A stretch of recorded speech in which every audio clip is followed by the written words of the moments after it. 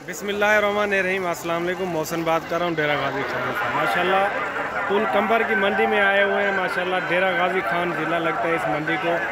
शहर से तकरीबन डेरा गाजी खान से 110 या 100 किलोमीटर आगे है, माशाल्लाह। बहुत बड़ी मंडी है। जिस तरह से माशाल्लाह बड़ी मंडी लगती है, मुल्तान में बड़े जानवरों की या लगती है, शेख हज़रत मूसा ने अल्लाह से सवाल पूछा।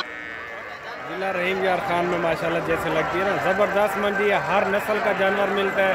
ऑस्ट्रेलियन, फ्रीजन, जर्सी, देसी हो गए।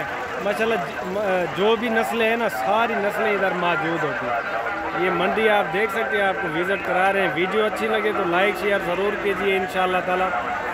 और चैनल को सब्सक्राइब करें पेज को फॉलो और लाइक करें माशाल्लाह, ताकि हर वीडियो आपके पास पहुँचती रहे। ज़बरदस्त मंडी है और इधर मुनासिब जानवर मिलते हैं। काटू वाला माल भी बहुत होता है और रखने वाला भी होता है गाय भैंसे जिस तरह का जानवर चाहिए। के लिए चाहिए। ज़बरदस्त माशाल्लाह हर किस्म का जानवर मिलता है। ये नीचे नहीं उतर सकते हैं क्योंकि बड़े जानवर हैं पता नहीं चलता कहाँ से ये मार गए हैं तो तो इधर एक जगह पे आए हुए हैं, छत पे, गाड़ी की छत पे हैं हम तो इसलिए आपको वीडियो बना के दिखा रहे हैं। ये मंडी आप खुद अंदाज़ा लगा लें कि कितनी बड़ी मंडी है और जानवर कितने होंगे इस मंडी में। माशाल्लाह, आल पाकिस्तान से आते हैं कस्टमर इस मंडी में। आप भी हैं इन विज़िट करें इधर। हम भी मंडी पे होते हैं या हम ना भी हों, बेशक आप आ सकते हैं, इधर विज़िट करें।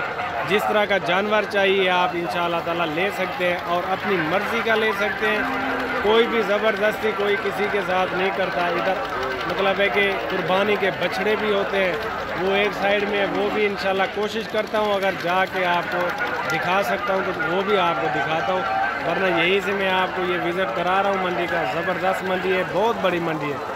शेख मान से भी बड़ी मंडी है, माशाल्लाह। अगर वीडियो अच्छी लगे तो लाइक, शेयर ज़रूर कीजिए इन ताकि हर वीडियो आपको बसानी पहुँचती रहे।